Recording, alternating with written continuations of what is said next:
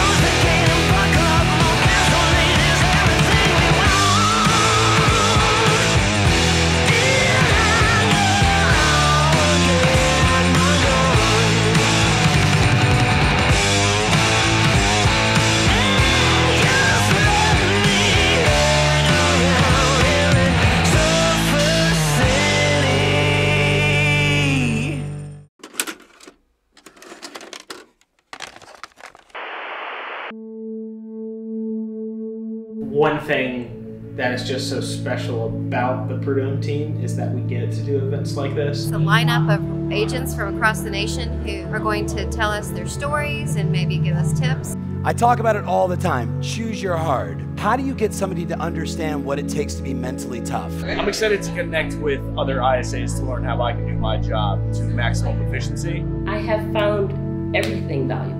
Any, anything, you know, any of his guests that he's had on, there's always been pieces that, that have been um, something that I could use. Everyone has the birthright to joy, but you are responsible for finding that joy. I like the bonding that happens at the summit uh, between team members and between other brokerages. You, you're going to do big things. We'll try. You're going to. Staying in our comfort zone prevents us from ever having that breakthrough that we're looking for.